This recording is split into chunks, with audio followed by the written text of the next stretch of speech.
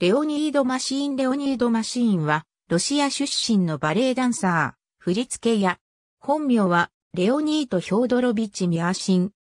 モスクワのボリショイ劇場附属学校に学び、卒業後は、同劇場バレエ団に所属したが、1914年に、モスクワ訪問中のセルゲイ・ディアギレフに見出され、バレエリュスに入団。ディアギレフに解雇されたニジンスキーが踊る予定であったヨゼフの伝説でデビュー。以後、ニジンスキーに代わる花形男性ダンサーとなった。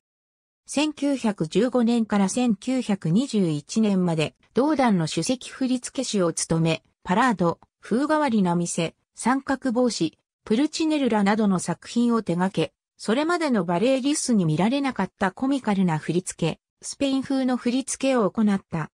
1921年に同団のダンサー、ベラ・サビーナとの恋愛がきっかけでバレエリュスを追われるが、1925年に復帰。鋼鉄の歩み、オードなどの先端的な作品を振り付けた。